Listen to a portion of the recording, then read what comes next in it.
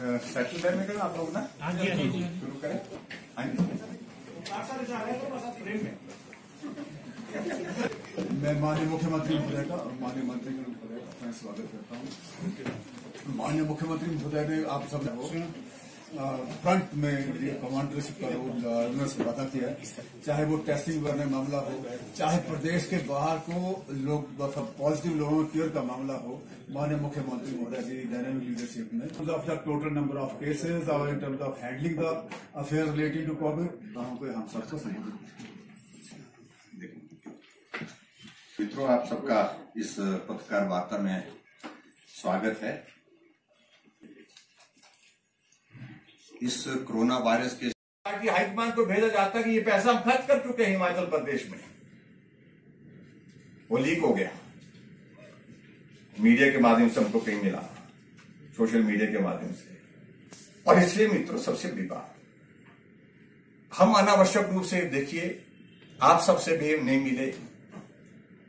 हम कहीं दूसरी जगह नहीं गए, राजनीति की बात नहीं कही। इसलिए नहीं कही, ये दौर उस काम के लिए। ये दौर किसी और काम के लिए जो सबसे महत्वपूर्ण है। वो कोरोना के खिलाफ लड़ाई एकजुट होकर के लड़ने की है। लेकिन हमारे मित्र जो है वो इसी चीज़ को लेकर के करते रहे। आज की जगह जाकर के शोर डालने कि हम आंदोलन करेंगे, नीचे तक करेंगे, अरे जहाँ तक करना करिए, मैं उसमें कोई परवाह ही नहीं करता।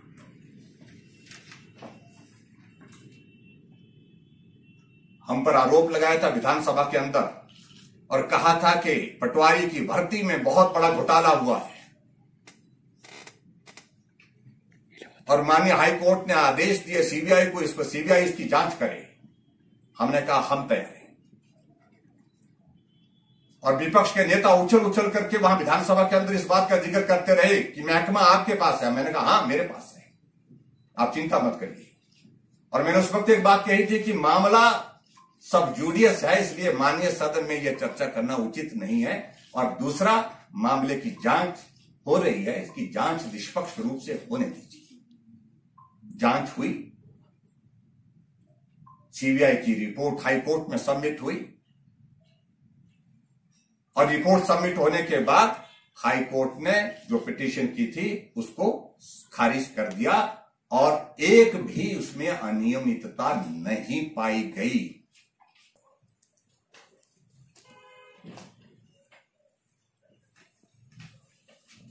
भूमिका है मैं उस भूमिका को निभाने के लिए मैं कहता हूँ, आप निभाइए उसको। लेकिन हर जगह इस प्रकार से बे, बेतुकी जिस बातें, जिस प्रकार की बातें कहना। कि घोटाला हो गया पटवारी की भर्ती में। राजदूत का दूध, पानी का पानी हो गया। मैं उनसे जानना चाहता हूँ इस बारे में उनका क्या क्या है। कोई जवाब नहीं है उनके पास।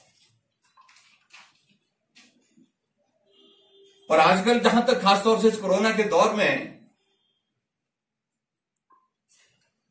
जब हम इस लड़ाई लड़ रहे हैं इस लड़ाई को लड़ रहे हैं, वो इसमें भी कोशिश कर रहे हैं। लेकिन मैंने एक दिन कही, एक दिन भी कही, पहले भी यही बात की आज भी एक बात कर रहा हूँ।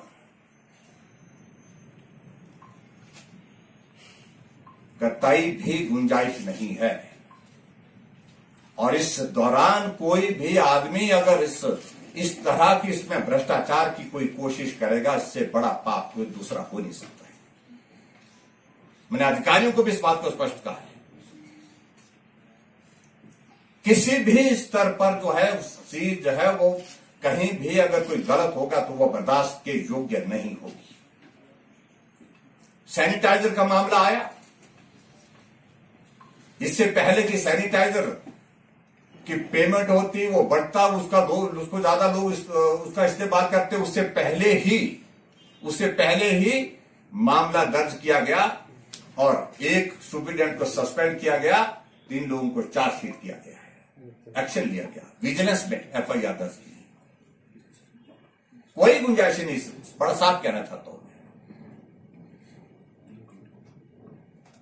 क्योंकि कुछ लोगों की ऐसी परिस्थिति में मानसिकता होती, ये दौर है कुछ करने का, कुछ ऐसा करने का। वो गलत फहमी में बड़ा साफ़ कहना चाहता हूँ, वो गलत फहमी में और इस गलत फहमी को उनको निकाल देना कोई गुंजाइश नहीं होगा, कहीं भी मिलेगा, कोई भी मिलेगा, अगर इस दौरान कोई गलत कर तो बख्शा नहीं जाएगा। बड़ी साफ़ बात है।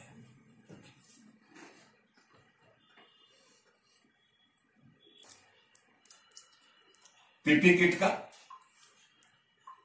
और उस पीपी किट के मामले को लेकर के जहाँ तक सरकार की जो परचेज की है प्रोक्योरमेंट की बात है, उसमें कोई भी अनियमितता नहीं है। मामला दो लोगों के बीच में है।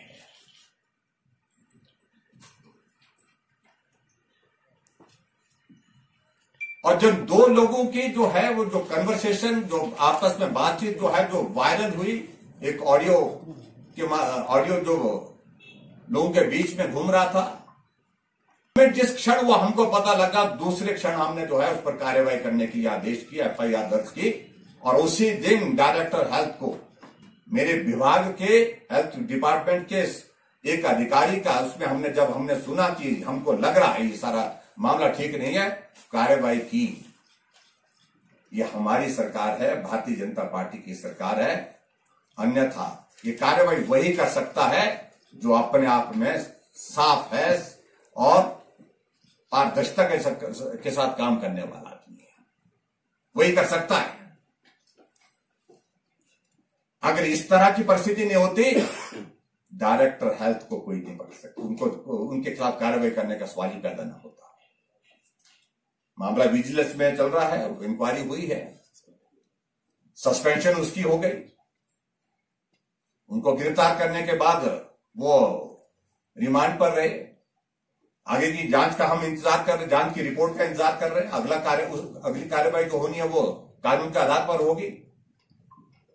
लेकिन हमने बड़ा साफ़ कहा, हालाँकि उसी महीने रिटायर होने वाले थे, लेकिन उसके बावजूद हमने कहा कि इसमें दया की कोई गुंजाइश नहीं। हमने साफ़ कहा कि जो इस दौरान जहाँ हमको लोगों ने अपने खून पसीने की कमाई से भी योगदान दिया, मदद की, इस वायरस को रोकना है, लोगों की जान बचानी है, हमारे से इतना कर सहयोग आप तक पहुँच सकता है, हम यही सहयोग पहुँचाने के लिए आपके बीच में है तो ऐसी परिस्थिति में कोई आदमी इस प्रकार से करे तो वो बर्दाश्त नहीं होगा। और आपकी जानकारी के लिए मैं ये भी साझा करना चाहता हूँ कि हर रोज मुझे पाँच सात पत्र ऐसे मिलते हैं जिसमें नाम और पता नहीं होता है। अपना स्कोर सेटल करने के लिए भेजे जाते हैं किसी अधिकारी के खिलाफ, किसी नेता के खिलाफ, किसी किसी के खिलाफ, किसी संस्था के खिलाफ। क्या वो सभी का हमको उस तरह से कॉग्निजेंस लेना है क्या? जब जिस आदमी में हिम्मत ही नहीं है कि वो अपना नाम और पता बता सके तो समझ लेना चाहिए कि ये सही बात नहीं है। मुझे अफसोस है उसके बावजूद भी, कुछ मीडिया ने किया है, जबकि मेरे हिसाब से इस प्रकार के पत्थर जो बिना एड्रेस के, बिना पते के आते हैं उनको छापना चाहिए, नहीं छापना चाहिए मुझसे बेहतर आप लोग जानते हैं।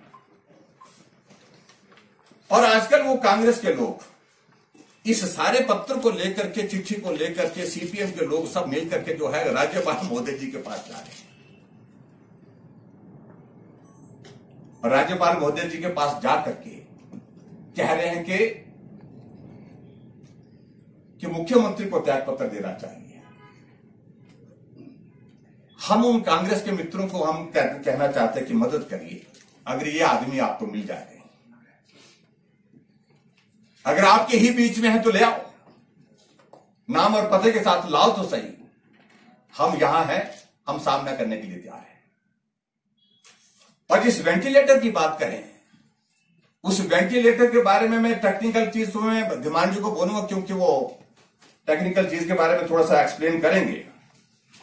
लेकिन मैं इतना ज़रूर कहना चाहता हूँ, जो हमने नौ लाख उन्नीस हज़ार रुपए में खरीदा